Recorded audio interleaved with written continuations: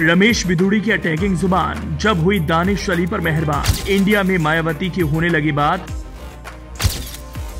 दानिश को राहुल ने गले लगाया। अखिलेश ने कहा, दानिश तो अपने हैं। जब हुई ऐसी बात तो उठने लगे सवाल। कहने वाले कह रहे दानिश अली खोलेंगे इंडिया मायावती के लिए दरवाजे। अखिलेश राहुल ने दे दिए संकेत।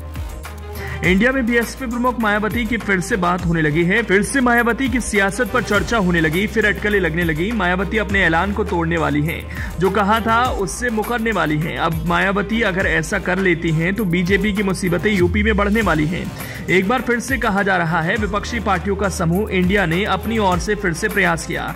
फिर से मायावती को संकेत दिया, चलिए फिर से हम दोस्ती करते हैं और वजह बने हैं अमरोहा से बीएसपी सांसद दानिश अली बीएसपी सांसद दानिश अली पर बीजेपी सांसद रमेश बिदुड़ी की गालियों ने विपक्ष का सुर एक कर दिया। दानिश अली से मुलाकात के बाद गले लगाकर राहुल गांधी ने बड़ा संकेत दिया।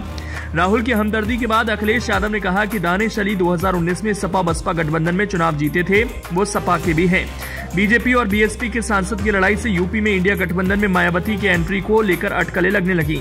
लेकिन सवाल यही है कि अभी तक बीजेपी और कांग्रेस से दूरी बनाकर चल रही मायावती के लिए क्या दानिश अली इंडिया गठबंधन में एंट्री का दरवाज़ा खोल पाएँगे? सियासी गलियारों में ये बात दौड़ रही है। विश्लेषकों के एक समूह में खूब हो रही है चर्चा। माना जा रहा है कि जयंत चौधरी के आरएलडी और यूपी कांग्रेस के कई नेता चाहते हैं कि बीएसपी भी गठबंधन में रहे ताकि दलित या मुसलमान में रत्ती भर कंफ्यूजन न हो।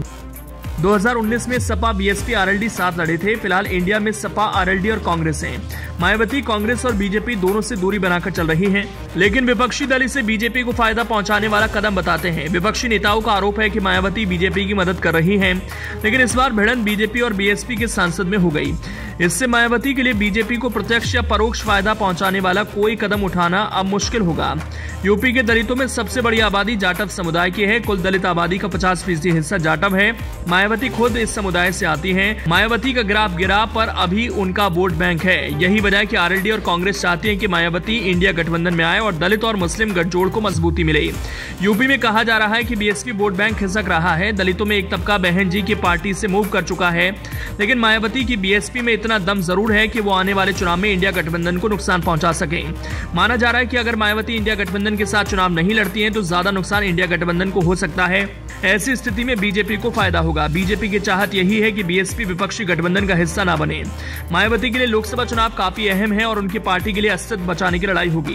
2019 के चुनाव में सभी पुरानी बातों को भूलते हुए उन्होंने अखिलेश यादव से गठबंधन किया, जिसका सबसे ज़्यादा फ़ायदा बीएसपी को हुआ। सपा तो 2014 की तरह 2019 में भी पाँच सीट पर रही, लेकिन बीएसपी को 2014 के ज़ीरो के मुकाबले 2019 में 10 सीट पर जीत मिल गई। फिर भी मायावती ने गठबंधन को तोड़ते वक्त सपा का वोट न मिलने का आरोप लगाया।